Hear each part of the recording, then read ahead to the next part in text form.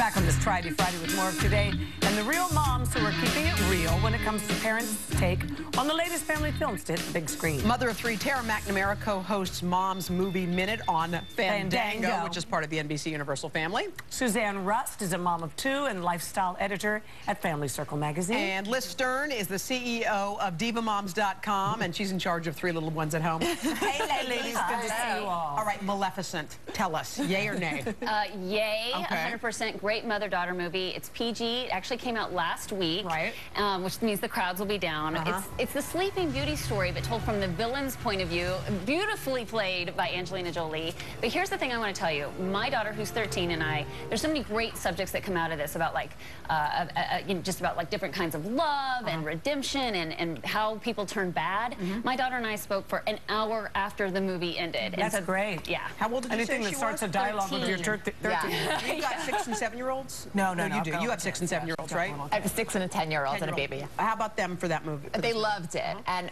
you know, I was a little worried about taking the six year old, but he Yeah. walked out of there and he's like, Mom, that was so cool. And I loved the 3D. It was action packed and she looked beautiful. And this- I didn't was realize a it's li- 3D. You can go in 3D way. too. What'd you yeah. Yeah, what did the kids you saw? They loved it. They loved you it. I did query the little kids because I thought maybe she was a little scary with the horns and Yeah. the cape. But they're like, I loved it. No, No, no, we we got got that. They were fun. Yeah, with that face. Great film. All right, so here's the big one, The Fault in Our Uh, Stars. bring tissues. Yeah. Everybody's saying this is going to be a home run. Is that what you guys think? Yes. Yeah, well, first you should know that this is Fandango's best-selling romantic drama of all time in their history. So Pre-sales. Pre-sales. Yes. Of all so time, I think wow. that that indicates it's going to be big. It's not just teen girls. Moms are enjoying this Everybody. story. The novel has such Everybody. huge Oh, it's one of my success. It's favorite beautiful. books. You all, Yeah. all three Yeah. of you agree what do you, yeah. what do you think? Is it for what age do you think? I think? think you know the kids are reading it. I mean, Yeah. it says PG-13. There is there's some intimacy. There's death. I mean, there, there are major issues. But I think a sophisticated 12-year-old who's read the book can deal with it. I wasn't uncomfortable seeing it with my Yeah. daughter. You who's got the 14. same? Yeah, I think it's just such a beautiful, beautiful story, and I think that the young teens of today really should go and see this movie for so many different reasons. Mm-hmm. It really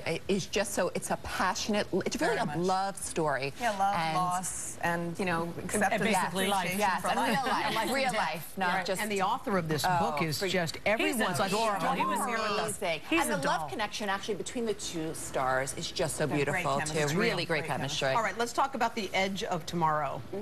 Tom Tom Cruise's movie. But it's, I, I saw the reviews and they're like really, really Oh, excellent reviews. Yes, yes. It's amazing. It's PG-13, so this is counter-programming to The Fault in Our Stars, which is for teen girls. This is for teen boys. Okay. Um, and it's basically like a video game come to life. Groundhog Uh, you Day. have- Groundhog Day. Groundhog Day with the sci-fi For the aliens. You have this soldier who dies on the battlefield only to find that he's in a time loop and has to relive the same day. And so it's actually like a video game from our generation where when he dies, he has to start over at the beginning, right. Put your quarter in, and use the lessons you learned to get farther in the game. And he's still so handsome. He is I'm handsome. Nancy for the big what do you think about, Yeah. what, what would you tell parents, Well, Suzanne, you know, about it is, this? It's it's for the video game generation. They're kind of used to this mm-hmm. this kind of scenarios. But I think you know, not anyone younger than 11. I don't think. 'cause Yeah. it's Violence. a Yeah. film. Violence. There's Yeah. violence. There's loud noises. You and know, I think I think you can go into it with your teen or tween Right. talking about it and just letting them know ahead of time there will be a little bit of violence or a lot of violence actually and just preparing you for if for you're it. just a gamer, Yeah. they're solid. Okay, real quick, just thumbs up, thumbs down on How to Train Your Dragon Double 2. thumbs up.